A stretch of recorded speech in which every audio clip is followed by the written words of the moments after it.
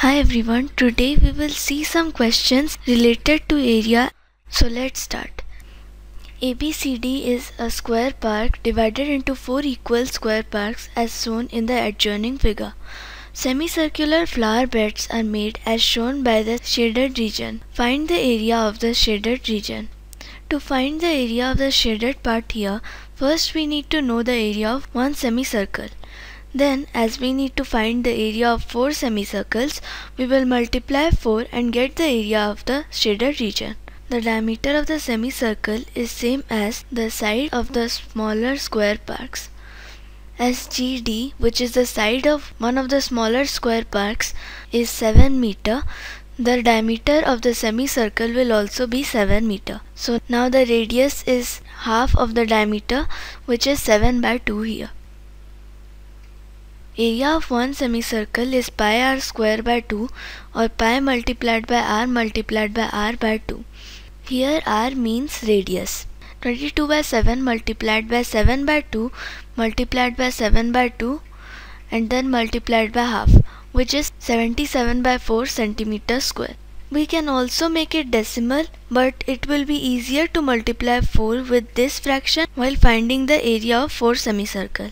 So we are keeping the area of one semicircle here in the fraction form. So the area of 4 semicircle is 77 centimeter square.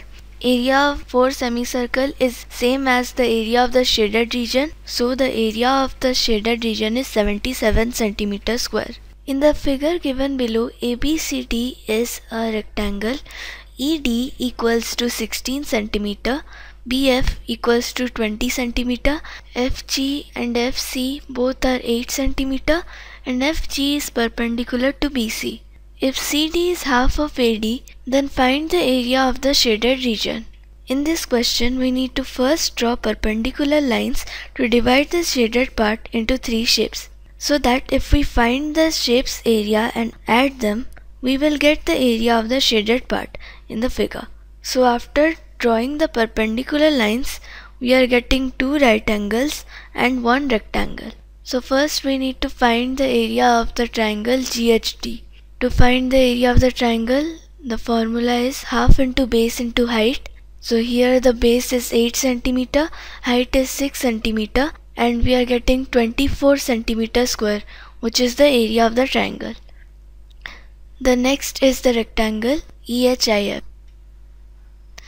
To find the area of the rectangle, the formula is length multiplied by breadth. So 14 multiplied by 8 which is 112 centimeter square. The next triangle is EIB. To find the area we need to again use the formula half into base into height. Then the base here is 12 centimeter, height is 14 centimeter and after solving we are getting 84 centimeter square. Now to find the area of the shaded part, we need to add the areas of the three shapes 24 centimeter square plus 112 centimeter square plus 84 centimeter square. The total is 220 centimeter square. So the area of the shaded part is 220 centimeter square. The figure given below is made up of three overlapping circles in a rectangle. The area where the circles overlapped is 740 centimeter square. The area of the rectangle is 7840 centimeter square. Find the area of the unshaded part. In this question, we need to find the area of the unshaded part. So we will find the area of the whole rectangle and then subtract the area of the shaded part. The shaded part is made using three circles and some part of the circles are overlapped. So to find the area taken by the circles, we need to subtract the two overlapped parts area from the area of the three circles. As one overlapped part is common to the first and second circle and another overlapped part is common to the second and the third circle. Here the diameter of the circles are same as the breadth of the rectangle. So the diameter of the circle is 56 centimeter. Then the radius is 28 centimeter and the area of the circle will be 2464 centimeter square. To find the area we need to use the formula pi r square.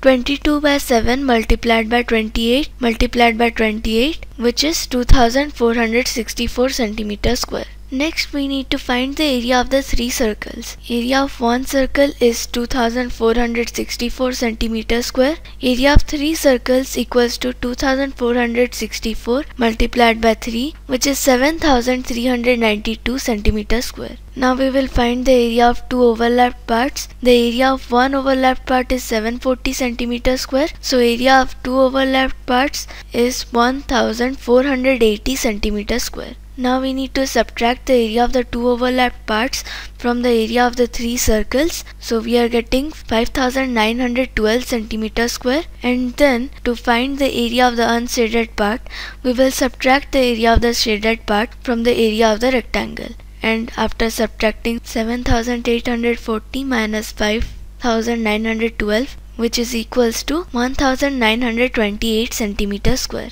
So the area of the unshaded part is 1928 centimeter square. Thank you.